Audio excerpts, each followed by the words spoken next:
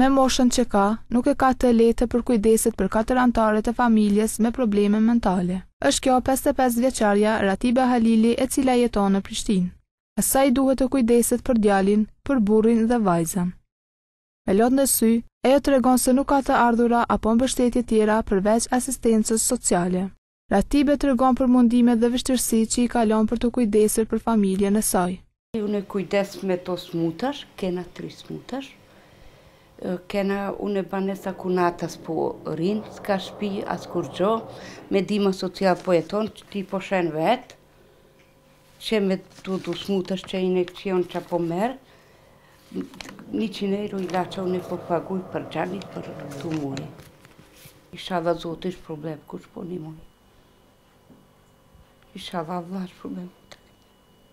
Ratibja u bën thirrje të gjithëve që kanë mundësi t'i dalin në ndihmë. Aktualisht kjo familje jeton në banesë të vëllait të Ratibes. Ajo shpreson se njerëzit vullnetmirë një ditë do ta bëjnë atë me strehë.